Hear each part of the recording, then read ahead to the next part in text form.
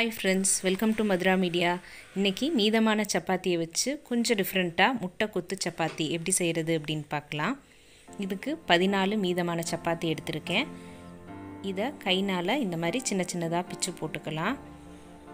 அப்படி இல்லைன்னா மிக்சிலையும் போடலாம். நமக்கு நல்ல தின் லேயராக கிடைக்கும். நான் இந்த மாதிரி சின்ன சின்னதாக கையிலே பிச்சு போட்டுறேன்.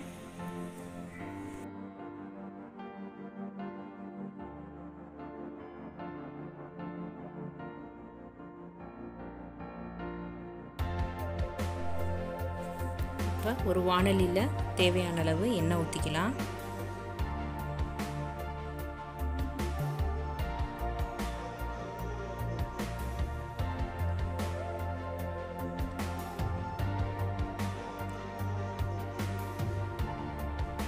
எண்ணெய் சூடானதும் ஒரு அரை ஸ்பூன் கரம் மசாலா தூள் ஆட் பண்ணிக்கலாம்.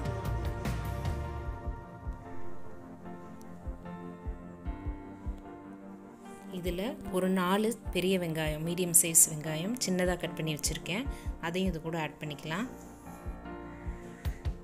வெங்காயம் நல்லா வதங்கட்டும்.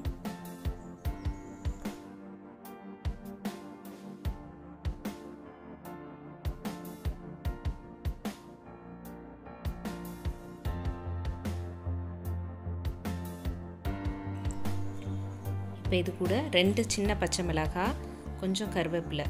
சேர்த்துருக்கேன். அரை ஸ்பூன் இஞ்சி பூண்டு பேஸ்ட் ஆட் பண்ணிக்கலாம்.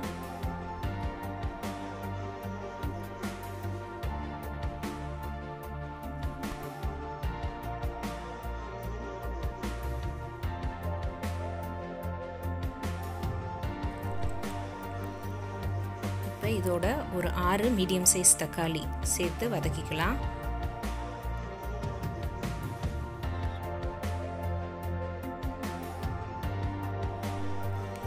தக்காளி நல்லா வதங்கினதும் ஒரு அரை கப் தண்ணி ஆட் பண்ணிக்கிறேன்.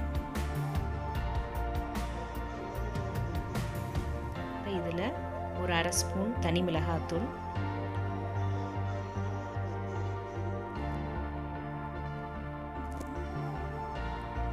அரை ஸ்பூன் தனியாத்தூள்.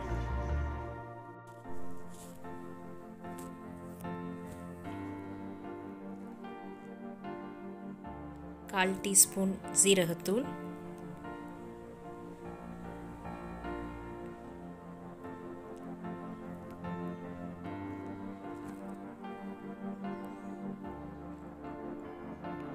கால் டீஸ்பூன் மிளகுத்தூள்.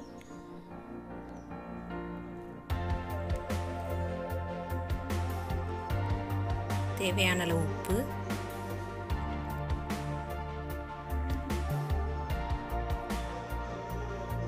கால் டீஸ்பூன் மஞ்சள் தூள் ஆட் பண்ணியிருக்கேன்.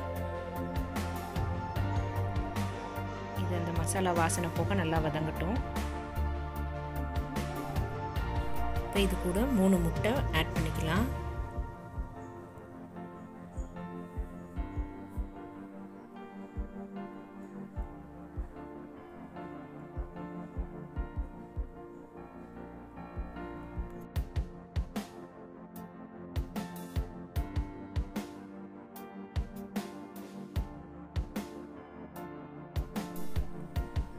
முட்டையும் இந்த மசாலாவோட சேர்ந்து நல்லா வேகட்டும்.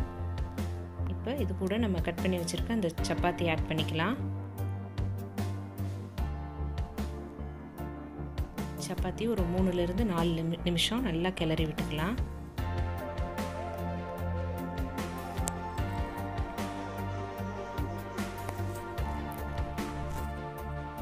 அவ்வளோதாங்க ரெடி ஆயிடுச்சு. இது உங்கள் வீட்டில் நீங்களும் ட்ரை பண்ணி பாருங்கள் ரொம்பவே டிஃப்ரெண்ட்டாக இருக்கும் டேஸ்ட்டாகவும் இருக்கும். ஓகே ஃப்ரெண்ட்ஸ் இந்த வீடியோ உங்களுக்கு பிடிச்சிருந்ததுன்னா லைக் பண்ணுங்கள் ஷேர் பண்ணுங்கள் மறக்காமல் சப்ஸ்கிரைப் பண்ணுங்கள் தேங்க்யூ